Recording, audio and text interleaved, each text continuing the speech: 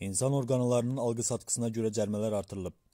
Xəzər xəbər xəbər verir ki, bu Prezident İlham Əliyevin təsdiq etdiyi Azərbaycan Respublikasının Cinayət Məcəlləsində dəyişiklik edilməsi haqqında Azərbaycan Respublikasının qanunda əksini tapıb. Dəyişikliyə əsasən insan orqanlarının və toxumalarının, həmçinin donor orqanlarının alqı-satqısı 6000 manatdan 9000 manatadək miqdarda cərimə və ya 2 ilədək müddətdə islah işləri və ya 3 ilədək müddətdə müəyyən vəzifə tutma və ya fəaliyyətlə məşğul olma hüququndan məhrum edilməklə və ya edilməməklə 3 ilədək müddətdə azadlıqdan məhrum etməklə cəzalandırılacaq.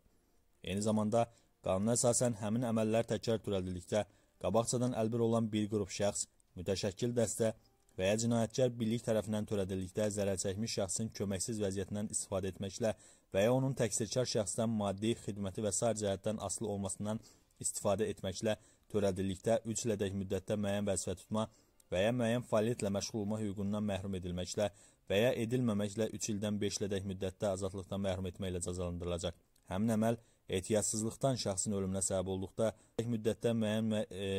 vəzifə tutma və ya müəyyən fəaliyyətlə məşğul olma hüququndan məhrum edilməklə və ya edilməməklə 4 ildən 7 ilədək müddətdə azadlıqdan məhrum etməklə cəzalandırılacaq.